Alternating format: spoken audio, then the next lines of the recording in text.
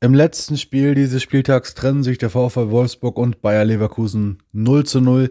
Bringt beiden nicht wirklich viel. Die Leverkusener haben ja noch, sage ich mal, Minimalchancen auf Platz 5, vielleicht sogar auf einen Champions League Platz.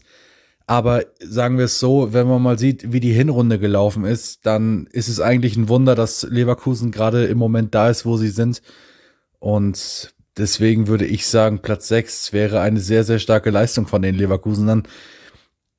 Sicherlich ist Platz 5 noch drin, es sind noch äh, sechs Punkte, aber boah, da muss schon einiges passieren und die vorderen Teams müssten richtig einbrechen. Und Leverkusen muss dann ja auch noch gewinnen.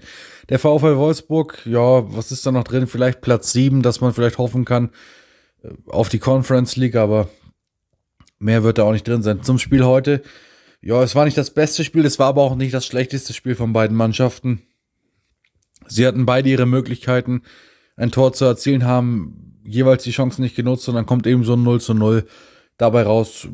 Die Abwehrreihen haben dicht gehalten, die Torhüter haben den Kasten sauber gehalten, das ist positiv anzumerken, aber ansonsten war es jetzt kein weltbewegendes Spiel, was man gesehen haben muss. Also ja, Deswegen freue ich mich auf die Mannschaften am nächsten Spieltag, dass sie es besser zeigen können.